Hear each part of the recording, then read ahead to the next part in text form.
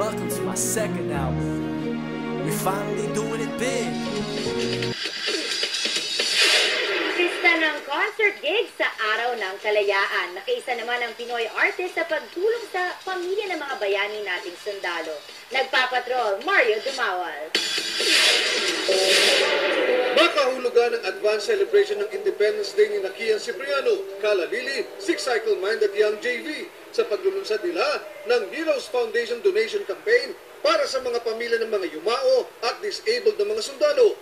Espesyal na sandali ito para sa ABS-CBN star na si JV, anak ni Lieutenant Colonel Red Kapunan, na nakadaupang palad ang batang natulungan nila. I grew up kasi sa family na military din.